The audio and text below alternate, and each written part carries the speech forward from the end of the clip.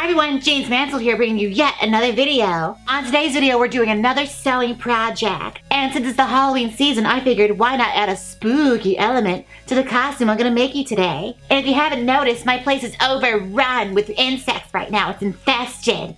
Gross, but it's appropriate for the season, I guess. So there's a silver lining there. The outfit we're making today is a capri cat suit. I've been making them a lot lately because I just got my breastplate and I noticed a lot of costumes don't really work for them, so I completely altered some of my costumes to make them functional with my new plate. So, I'm going to show you today a very simple outfit you can make that partners up with your breastplate very, very well. Now this is very, very similar to the dance costume I've made before. I'll link that down below for you so you can refresh your memory on how I do this project. Now, let me list off some of the things you're gonna need for this project. First things first, you're gonna need some fabulous stretchy fabric, a good pair of scissors, some sewing straight pins, a dress or bathing suit that fits you perfectly.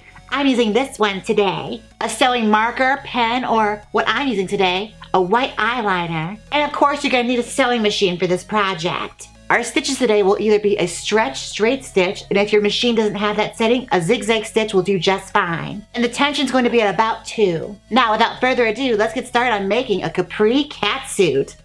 First things first, we're gonna put our fabric on a fold. And laying down that dress that fits us perfectly, we're to trace around that with our crayon. All right, once that's traced, we're to take our straight pins and start pinning that down. I always turn the dress inside out. That way I have a better understanding for seam allowance. Okay, and laying that dress back down, we're to start tracing down our leg pattern. This catsuit is to be tighter on your body. We want it to go to our natural contours of our body. And since it's stretch, all the effect of it will come from the padding you wear underneath, so your foundation garments have a lot to do with it. And I'm just to trace out some legs.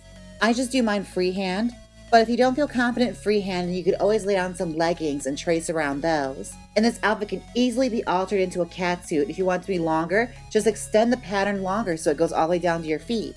And taking our scissors, we're going to start to cut it out. And be sure and salvage the fabric you get from the groin area. We're actually going to use that later on the pattern. And fold it over onto itself. We're going to cut off any excess. I also give it a lot of allowance up top because I'm going to put some elastic in this. It's going to be an outfit you can step right into with ease. Alright, we're just going to feed that through our sewing machine.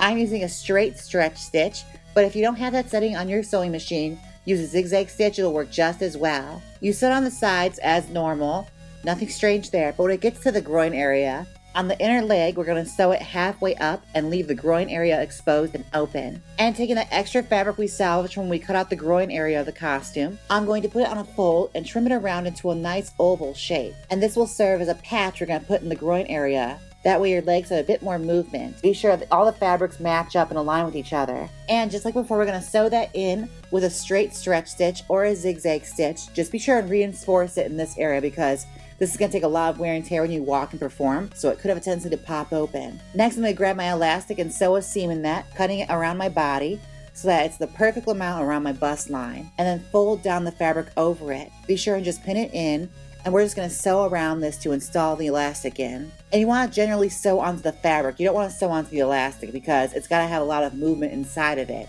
It's generally just living inside a big tube. Okay, pause the video here and go try your costume on. You're going to measure along the back of your neck all the way down to your bust line.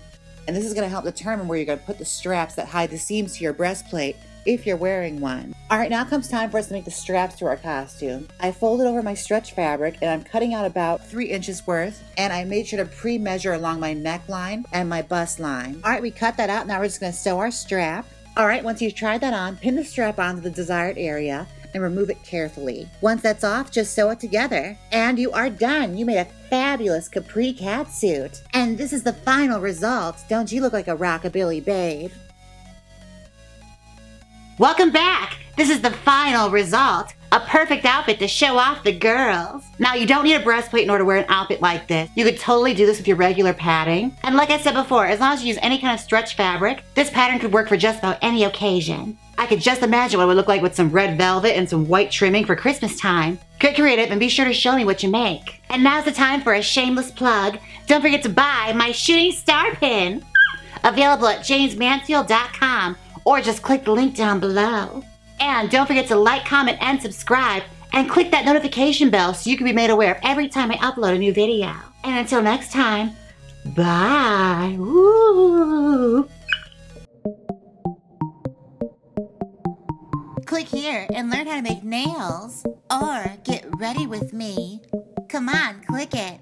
If you don't click it, I'll hack your Tinder and tell everyone about your balloon fetish. Come on, click it!